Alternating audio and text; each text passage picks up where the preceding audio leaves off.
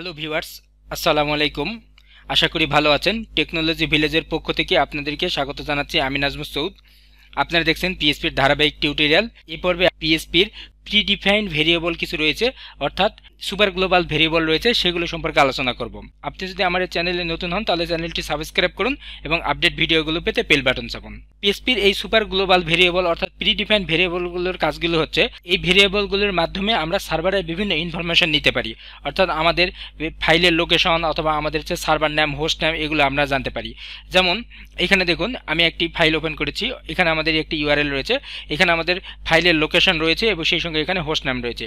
আমরা যদি এই হোস্ট নাম এবং লোকেশন এগুলো যদি জানতে চাই, তাহলে আমরা কীভাবে জানব? প্রথমে যদি আমরা আমাদের এই ফাইলের লোকেশনটা যদি জানতে চাই, তাহলে আমরা কীভাবে জানব? এটি জানার জন্য আমাদেরকে যা করতে হবে, এখানে প্রথমে আমাদের ডলার আন্ডার স্কোর লিখে এইখানে আমরা লিখলাম সার্ভার তারপরে আমরা জানব হচ্ছে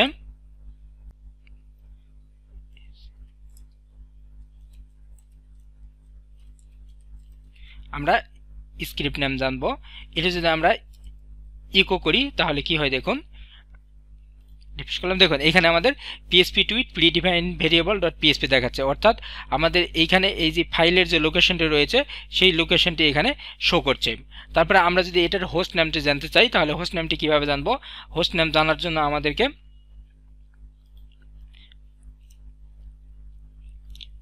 এখানে আমাদের অনুরূপভাবে ডলার আন্ডার লিখে তারপরে সার্ভার লিখলাম। তারপরে এখানে আমাদেরকে দিতে হবে H T T P underscore host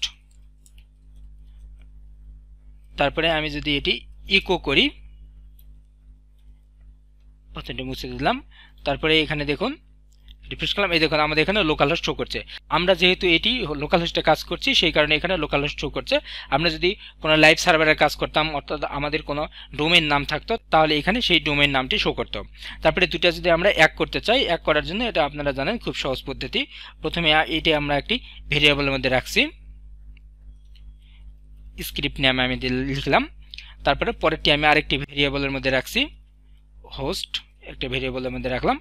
তারপরে এই দুটো মিলে আমরা এক করব। এক করার জন্য হোস্ট লিখলাম। তারপরে পরে আমরা এটা কনকারিনেশন করতেছি? স্ক্রিপ্ট নেম লিখলাম। তারপরে এইটা যদি আমরা ইকো করি, তাহলে পুরোটা চলে আসবে। দেখুন লোকাল হোস্ট পিএসপি টুইট পিডিম্যান ভেরিয়েবল ডট পিএসপি আমাদের পুরোটাই চলে আসছে। আমাদের এই যে আমরা যে স্ক্রিপ্ট নাম এবং হোস্ট নাম এগুলো আমরা জানলাম, এটি আমাদের জানার প্রয়োজন হচ্ছে এই কারণে, যখন একটা ফাইলকে আমরা আরেকটা ফাইলে ইনক্লুড করব, তখন সেক্ষেত্রে আমরা এটি ব্যবহার করতে পারব। একটা ফাইলে যদি আমি কোনো একটা লোকেশন যদি লিখি, তাহলে সেই ডাইনামিক্যালি সেই লোকেশনটা চেঞ্জ করার জন্য আমাদের এইগুলো জানার প্রয়োজন হতে পারে। যেমন আমি আপনাদেরকে উদাহরণসহ একটি দেখাচ্ছি। আমি এক নতুন একটি ফাইল নিলাম। এখানে আমরা একটা ফর্ম নিচ্ছি। আপনারা জানেন যে ফর্মে একটি অ্যাকশন দিতে হয়। আমি এটি সেভ করছি, আমি এটা ফর্ম নামে সেভ করলাম ফর্ম ডট পিএসপি এই ফাইলের এই ফর্মে যদি আমি অ্যাকশন দিই, তাহলে অ্যাকশনটা আমরা দিব হচ্ছে ফর্ম ডট পিএসপি অর্থাৎ আমরা এই ফাইলের মধ্যে, এই ফাইলেই আমরা এই অ্যাকশনটি দিয়ে দিলাম। তারপরে এটি যদি আমরা এখানে রান করি আমাদের ব্রাউজারে গিয়ে localhost PHP tweet form dot PHP গেলাম।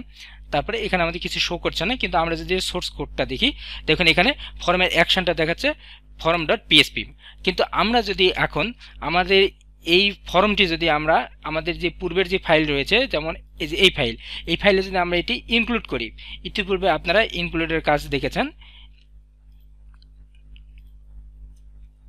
আমরা এখানে একটি ব্রেক দিচ্ছি।